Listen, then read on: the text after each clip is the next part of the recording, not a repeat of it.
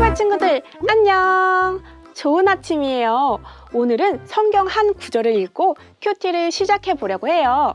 오늘 말씀 신명기 23장 19절 말씀인데요. 같이 한번 읽어볼게요. 하나님은 사람이 아니시니 거짓말을 하지 않으신다. 이 말씀에선 하나님을 거짓말을 하지 않으시는 분으로 소개하고 있어요.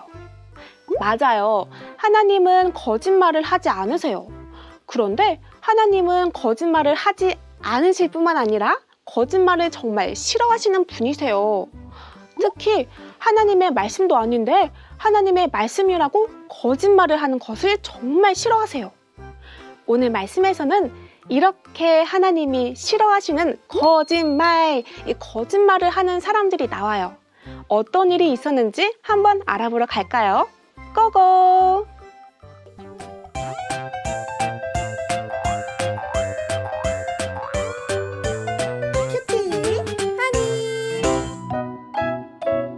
하나님의 말씀만 믿고 따라요.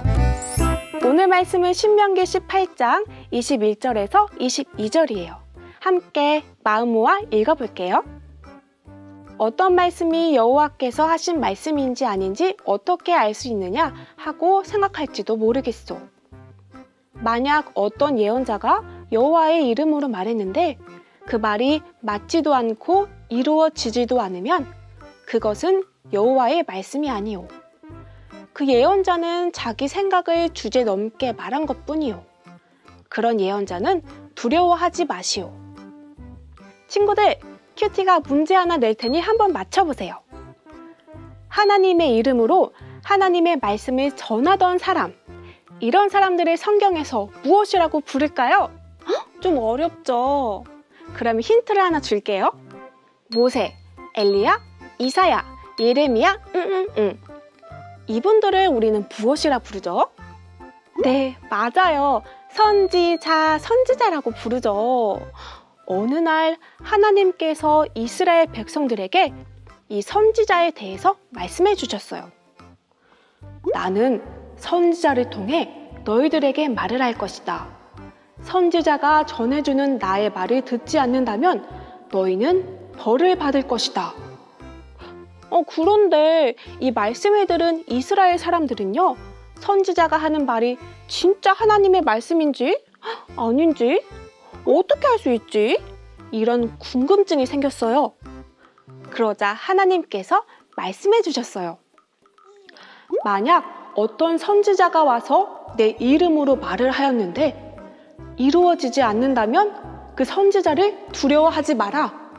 그는 나와 상관없이 자기 마음대로 말한 것이다. 그 선지자는 죽임을 당할 것이다. 사랑하는 우리 친구들, 하나님 말씀은 언제나 꼭 이루어져요. 하지만 사람의 말은 반드시 이루어지지는 않아요. 사람이 하는 말 중에 영원히 변하지 않은 말은 찾기 힘들죠.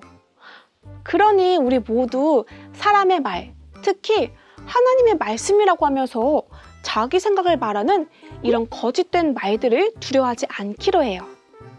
그리고 반드시 이루어지는 하나님의 말씀을 믿고 따르도록 해요. 알겠죠?